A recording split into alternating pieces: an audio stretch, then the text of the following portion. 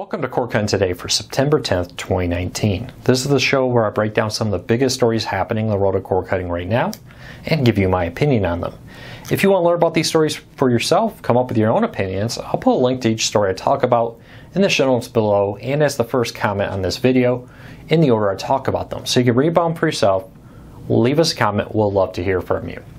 Now if you're new here, do me a favor, hit that subscribe button, hit that thumbs up. It's a huge help because it lets YouTube know you enjoy what we're doing here. And hopefully we can help you break free from the high cost cable TV and still watch the shows you enjoy. Real quick, let's get started with the deals of the day today because we have a lot of news to cover. MLB.TV is free right now for all college students. You do have to verify you are a college student. There's a few different ways to do that. Details in the post. But right now you can get MLB.TV for free as the season's coming to an end uh, playoff races as people try to fight to get in. So check that out. Great way to watch out of market games um, right now for free if you're a college student. All right, let's get into the news of the day. And I got some AT&T news, and I get we're all overwhelmed, but AT&T is doing a lot. So I'm gonna try to rush through this right now, tell you about some of the crazy stuff AT&T is up to, but I'll try to move as fast as I can. Right now, first, uh, an update on yesterday's story about UVerse. After I posted the video, after our story had been live for a few hours, AT&T hastily went put UVerse back on their um, website. Now, this was at the top of their website, the bar where list, lists all their services. They had removed it there. They put it back, but mysteriously on AT&T.com/TV, their main TV landing page, when they put UVerse back, they removed AT&T TV Now. So as of the recording of this video, things could change. Right now, AT&T TV Now is not listed as an option on AT&T's TV page promoting the new AT&T TV. You still see UVerse and DirecTV there, but you, did, you won't find AT&T TV Now, which is um, kind of a strange move. It's like, okay, we're going to put this back, but not have that. Now, uh, they still have shut down the AT&T Uverse social media accounts. They're gone. And there's still the documents posted online that point to by the end of this year, AT&T's Uverse service will no longer be available. So that definitely does line up with what we've heard. Everything else in that post has happened. For instance, in markets with AT&T TV, they're no longer offering Uverse. So I still think that whole story is true, even though AT&T rushed to put the Uverse back on there. So we'll wait and see what happens by the end of end of this year. Also, Disney has announced that they are in contact, contract talks with AT&T and that ESPN, Freeform, the Disney Channel, Disney Junior, all those channels, plus Disney-owned ABC affiliates could soon be removed from DirecTV, AT&T TV Now, and Uverse, to name a few. According to Disney, um, they will be leaving soon. What does that mean? I don't know. They did not give an exact date, but they are posting warnings that talks are not apparently doing too well. They're not getting close to a deal. This would not be new for AT&T. Both sides seem to be playing hardball. AT&T um, has been they had a long blackout for CBS. They had a very long blackout for Nexstar. There's um, numerous other small um, TV affiliate companies they're currently in blackouts with. Uh, and this has a lot to do with cord cutting. Cord cutting is putting pressure on these different um, companies. Disney wants more money because they're getting less money. AT&T is making less money, so they want to pay less money for their content. So keep a close eye on this. We will be posting updates as we learn more. I do have official statements from AT&T and from um, Disney in the post down in the show notes. And lastly, the AT&T stories. A major investor who recently purchased $3.2 billion of AT&T stock, Elliott Management, which is a major investment group, has made a, ma- a big investment in AT&T, says they can be worth a lot more than they currently are, and one of his main complaints is that they're screwing up the TV service. He complains they bought DirecTV at the peak. They haven't done a very good job running it, especially AT&T Now, AT&T TV Now, formerly DirecTV. It's one of the main complaints he has about the company. He also went after Warner Media. He said they bought Time Warner. He said one of the main reasons they spent so much money was to get the the management team, all these people with experience. Most of those people are now gone. A year later, they've all left the company. So it'll be very interesting to see what happens. He's on a warpath. He's putting pressure on the board. He's putting pressure on AT&T. And being an investor with over $3 billion of stock does give you some say in a publicly traded company like AT&T. It'll be very interesting to see how AT&T responds to this. They sound all generic, you know, we take all of our investors' feedback seriously and that kind of stuff. Really didn't say anything. But I'd love to know, do you think that AT&T should sell DirecTV as he's pushing? Should they just say, hey, DirecTV and all this was a mistake, we'll sell it? There's been rumors that Dish, um, AT&T may be in talks. Dish kind of put the um, put into that saying, no, we're really not uh, but that they will be open to it to buy DirecTV and merge them, kind of like Sirius, Sirius and XM merged back in the day. Maybe have a Dish and DirecTV merger into a single company to compete against all these streaming services and to compete against Comcast and Spectrum and all those companies. So leave me a comment. Let me know. Are you worried about this Disney blackout for AT&T? What do you think of the pressure put on DirecTV to be sold? Do you agree that they screwed up DirecTV? Are you concerned about Warner Media? Let me know what you think. I'd love to hear from you. All right.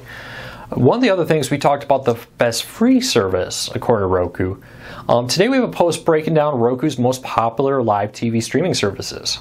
So according to Roku, they have a most popular section where you can look at the most popular channels, combination of downloads and hours watched kind of content. And according to that, Hulu, Sling TV, and YouTube TV are the most popular.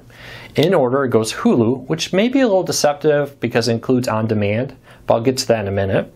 Sling TV, YouTube TV, AT&T TV, which includes AT&T TV now, Philo, PlayStation Vue, and then Fubo at the end. Now, we don't know if it's really Hulu and then Sling TV for live TV because Hulu's on demand content may be pushing that over. But Hulu is the fastest growing live TV service, according to all reports. Disney said that. Some independent studies have come out and said that. And that Sling TV and Hulu are neck to neck, neck to neck. Now, at this rate, Hulu will probably become the largest live TV streaming service based on subscribers. So that could be very well true. It could be very well that Hulu has jumped Sling TV for number one at this point. We'll have to wait until the third quarter numbers come out to kind of find out more about that. What I am very interested in is seeing PlayStation Vue at number six. Um, now, Sony was the second major live TV streaming service to go national. They have a huge, I hear you, I hear you, PlayStation Vue fans, huge fan base, very dedicated, absolutely love it. But they haven't really done much um, recently. They never seem to get their feet underneath them to grow. And now it looks like YouTube, Sling TV, Hulu, Philo even, and AT&T TV Now have passed them. You know, Sling TV launched first, so it may make sense for them to be number one. But when you look at Philo, YouTube TV, and Hulu, all fairly new services, and AT&T TV Now, but they all have more subscribers or, or more viewership, more downloads than Roku, the largest streaming player in the United States, according to Roku. So let me know, do you agree with this list? Does this surprise you at all? I was surprised to see Philo be over PlayStation Vue. We'll see. We'll also see if AT&T TV now continues its fall. Will Philo jump that? Will PlayStation Vue jump it? We'll have to wait and see. All right, so leave me a comment and let me know what you think. Next up, um, 75% of streamers, according to a survey done by PC Magazine, says they will not subscribe to Disney Plus or AT&T Plus or any of the other new services like the new NBC one. So there's been a lot of talk about the growing trend of all these streaming services adding up. And increasingly we're seeing studies say, hey, that's great, but you know, I have the services I'm happy with, or another study said, hey, if I'm getting Disney Plus, I'm going to drop something else.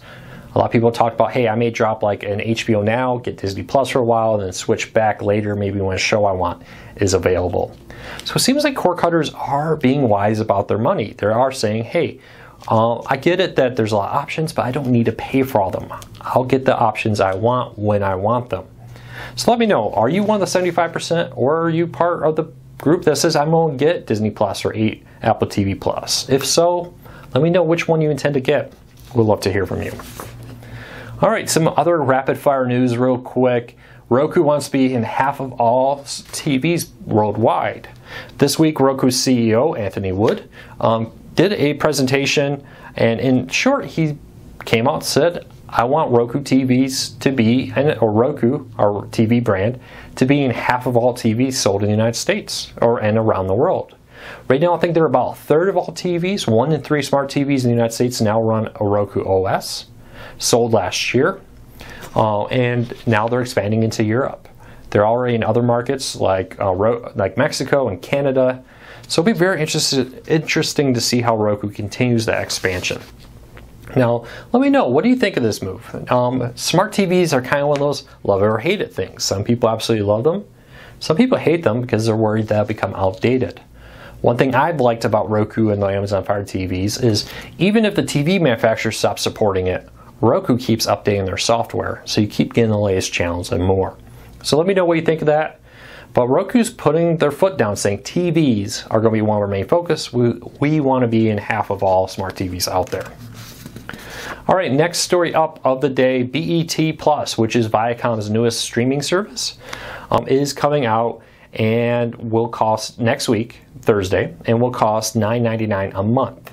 This new service um, uh, will launch September 19th to be exact. So, this will be a huge undertaking by Viacom. They really think that they can build on the BET brand to bring exclusive content streaming online. Now, the good news here is for um, fans of the Pluto TV BET channel, Viacom was very clear that the Pluto TV channel will remain, it will remain free. This is a digital, uh, an additional content which will bring original series, past content not offered on Pluto TV, and more to fans of BET. So if you're a BET fan, you may want to check out BET Plus and see if you like it. Let me know. $9.99 seems a little high for this. Um, it seems like everybody's trying to get as much as they can. It'll be interesting to see if that will work going forward. Let me know what you think. All right, yesterday, um, CBS announced that their new um, Dabl over the air network is now um, live in 109 markets and streaming free online. Includes the content from like uh, Gordon Ramsay, um, Martha Stewart, and more. It's kind of a cross between the cooking channel and HGTV, kind of a lifestyle channel. Uh, I did not see any dedicated apps launch yesterday on like Roku, Apple TV, or Fire TV, but keep an eye on them. They are doing a free stream on their website, which makes me think that they'll probably come out with a app so you can watch on your smart TV, similar to what Comet did, and more. So let me know if you find anything like that. Let me know if you watch Dabl um, and what, what, you think.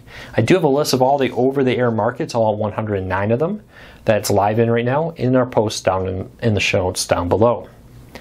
All right, uh, and last story up of the day. Yesterday, um, Sling TV sent Cord Cutters News an official statement saying that they believe it is unlikely it will be bringing back the Fox, Fox Regional Sports Networks. They said Sinclair, who now owns the Fox Regional Sports Networks, has made unreasonable demands in pricing and that at this point they just don't feel it's worth it to make their customers pay for that that much money for a channel in their words not that many people really watch so if you're a sling tv subscriber hoping the fox regional sports networks will be coming back bad news that's probably not happening so leave me a comment let me know what you think of this does that change your opinions i would encourage you to read the statement from sling tv that's available in the show notes down below in the post i thought it was very interesting so read it for yourself. Leave us a comment what you think.